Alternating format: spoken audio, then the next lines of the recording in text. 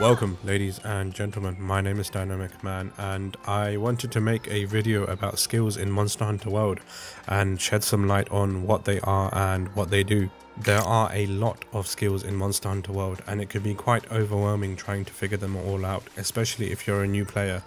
The skills you use are entirely up to your playstyle and use cases. However, certain classes and weapons do better paired with other compatible skills. For instance, a skill that boosts ranged attacks might not be as beneficial for a close ranged melee weapon. Similarly, if you play something like the dual blades like me, it might make more sense to slot skills into stamina and evasion rather than on blocking and increasing ammo slots which the dual blades have no use for. It's possible to have all kinds of builds and there aren't really any limits to what you can have, whether it's a meta build you follow or a heavily DPS focused build or a tank or even a mixture of everything. Personally, I like to have a balanced build between DPS, defense, and comfort. So, what are skills? Skills in Monster Hunter World are abilities that enhance your character's performance. You can gain them from equipping armor sets, charms, and decorations. There are three types of skills basic skills, or active skills as they're also known. These are skills that directly affect your hunter's performance. For example, boosting attack power, preventing stagger from monster roars, or increasing your evasion window. The second are toggle skills. These require only one point in order to activate, but more skill levels can be slotted to make them have stronger effects. An example of a toggle skill is something like Affinity Sliding or Divine Blessing. And lastly, set bonuses or passive skills as they're also known. These are often linked to the armor pieces you wear. Set bonuses are special skills activated when you equip two or more pieces of a specific set.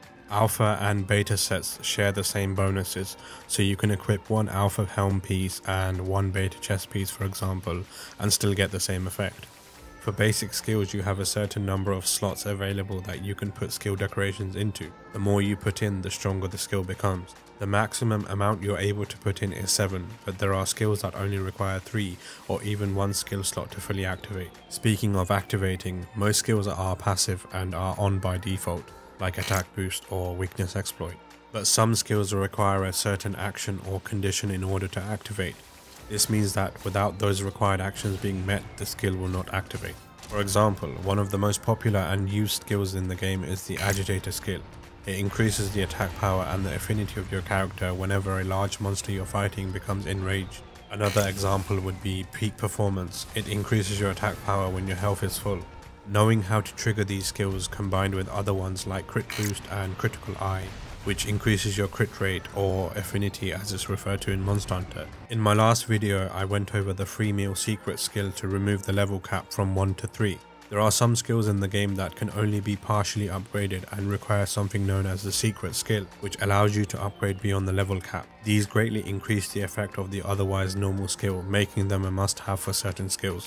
There are dozens of set bonuses in Monster Hunter World. I would highly recommend checking out the Monster Hunter World wiki, which I will link in the description below. It has a full list of all the set bonuses available in the game along with all the secret skills. And lastly, you have decorations. These are small jewels that you can slot into your armor and weapons. Each decoration has a specific level ranging from 1 to 4. The higher the number, the rarer it is. These individual skill jewels can only be acquired from quest rewards from high rank or master rank quests or by using the melding pod. Some higher rarity armor and weapons will only allow for the same rarity corresponding jewel level to be slotted into them, but lower level jewels are backwards compatible and can be slotted into higher rarity gear. I'll offer some basic skills that are a good general starting point to help you build a good base. These aren't in any particular order, so starting off I think Weakness Exploit, Critical Boost and Critical Eye are a definite must have. These will increase the damage you do to monster weak parts as well as increase your affinity, so you do even more damage when you hit those tenderized parts. Next, you have the choice between putting points into Agitator or Attack Boost, or both if you want. Personally, I like to go with Agitator over Attack Boost as I think it's easier to toggle the skill during fights and it offers better value but you can like I said go with both for even more damage output if you're going for a DPS build. Moving on, to increase our survivability I would suggest putting some points into health boost as well as defense boost. This will help us to tank more hits and increase our health allowing us to stay alive longer. Once you have better gear I would also highly suggest going for divine blessing as that greatly reduces the amount of damage you take when you get hit. If you have it maxed out, it activates very frequently allowing you to survive attacks that would otherwise be one-shots. Exceptions being those attacks which are unblockable like the Behemoth's Ecliptic Meteor or Alatreon's Eschaton Judgment. That pretty much does it. Those offer a good range between attack and defense. The rest is up to you and what you want to prioritize. I hope you guys find this video useful and informative. If I missed anything out then do let me know in the comments below.